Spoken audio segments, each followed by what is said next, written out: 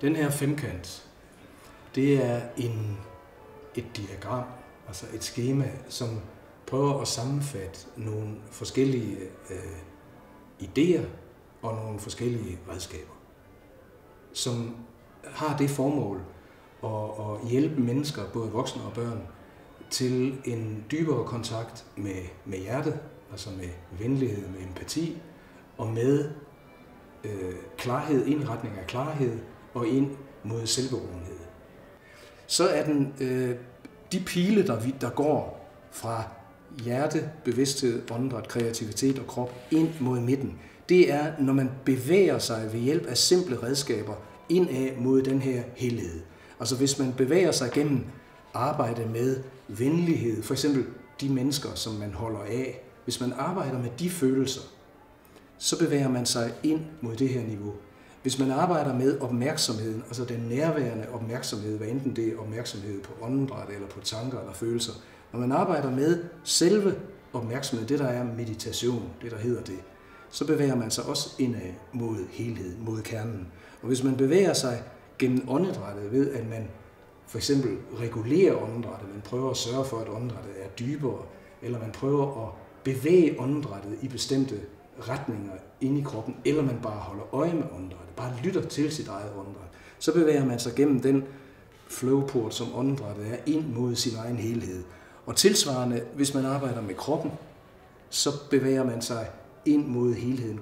At arbejde med kroppen er for eksempel at bruge centrering eller afspænding. Altså tænk på sine hænder og sine fødder og mærk, øh, mærk kroppen igennem op fra hovedet og ned gennem skuldrene og hele vejen ned til fødderne, sådan, så man får en fornemmelse af det naturlige tyngdepunkt, som ligger et eller andet sted under navlen. Der ligger menneskets krops naturlige tyngdepunkt.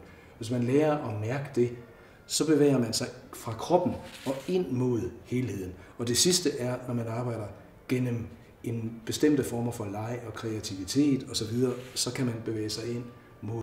Det, der så er en meget vigtig pointe i, den her, i det her diagram, det er, at man har, man har fundet ud af, at hvis man bevæger sig ind mod helheden af en eller kun to af de her veje, så er det meget vanskeligere at få en slags fornemmelse af det. Altså det fungerer simpelthen til en vis grad, men meget dårligere, hvis man bruger en eller to veje kun, i forhold til hvis man bruger tre, fire eller fem veje.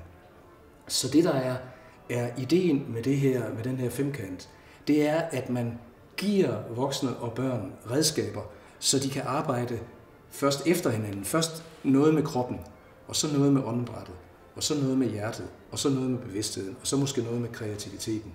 Og så efterhånden, så kan man lære øh, samtidigt, ligesom lidt multitasking-agtigt, kan man lære det. det. Det lyder indviklet, og det er overhovedet ikke indviklet, og et hvert barn på, på syv år kan lære det. Man kan lære at gøre det ligesom samtidigt. Man skal selvfølgelig indlære det, hvis vi siger det sådan. Man skal indlære det, øh, eller prøve det af i sektioner. Først det ene, og så det andet, og så det tredje osv. Men efterhånden lærer man at kunne gøre det samtidig. For eksempel, man kan mærke, de mennesker, man holder af, det kontakter man. Det er noget med hjertet. Og det gør man samtidig med, at man har kontakt med sin krop. At man, man ikke ligesom kun mærker hjertefølelsen, altså jeg holder af min mor, jeg holder af min far, jeg holder af min ven. Men at jeg samtidig er opmærksom på min krop og mit åndedræt, og mærker, at jeg holder af min far, min mor, min ven. Den kombination, den øger effekten af fordybelsen ind mod øh, helheden, eller ind mod essensen, ind mod hjertet. Og de pile, der går ud, der er vist her, det er den effekt, det har. Altså når mennesker er forankret dybere inde i deres hjertefølelser og inde mod deres egen helhed, så vil den måde, man kommunikerer med andre, øh, den måde, man, man samtaler med andre, den måde, man er i forhold til andre, det nærvær, man har, det vil være, det kommer et dybere sted fra, og det vil blive mere præcist. Sådan så det er en vekselvirkning, man bruger, hvis vi nu tænker en folkeskole og børn i en folkeskole eller lærere, så bruger man forholdsvis kort tid i enkelte pauser i undervisningen til at arbejde med de her flowporte ind mod helheden. For derved at skabe en dybere åbenhed og en større parathed til at lære nye ting og en større forståelse for helheden og miljøet i klassen, som begunstiger læringen. Så man bruger det kortvarigt og i en form for pauser eller gearskifte, en form for musik, som læreren er den, der, der må finde ud af, hvornår det er, hvis uroniveauet stiger, eller man kan mærke, at nu bliver de for distraheret, eller nu er det åbenbart for svært. Så kan man mærke i klassen, her er et punkt, hvor det vil være væsentligt at holde en pause. Og pausen er, at man så skifter spor, og, og siger, vi, vi, vi venter lige nu, der er uro, kan I høre, der er uro, og så videre, og så går man over til, lad os prøve at lave nogle af vores øvelser, og så laver man lidt med kroppen, og læreren instruerer det, og så laver man lidt med åndedrættet, og så tager man måske det med hjertet, eller hvad der nu passer i den enkelte situation, øh, godt nok til de børn, og hvad de har lært at bruge. Man behøver ikke at bruge ret meget tid på det, et par minutter, så skaber man en form for øh, pause eller en form for åndedræt i undervisningen, hvor man har været hele tiden været modtagende og skulle forstå osv., og så går man pludselig ind i en dybere kontakt med sig selv. Og så når man har fået ro eller balance i klassen igen, eller mere ro og mere balance, så går man videre med undervisningen. Så det er et redskab, der ikke ligesom, det er ikke noget, der skal undervises i, ligesom fra øh, 10 til 11. Det er et redskab, der bruges punktuelt øh, ind imellem, og som hele tiden forholder sig til, når man kan mærke, at børnene, eller hvis det er på en arbejdsplads, man kan mærke, at nu er der nu er der stress, altså nu er der, der er ikke koncentration. Det, det fungerer ikke særlig godt lige nu.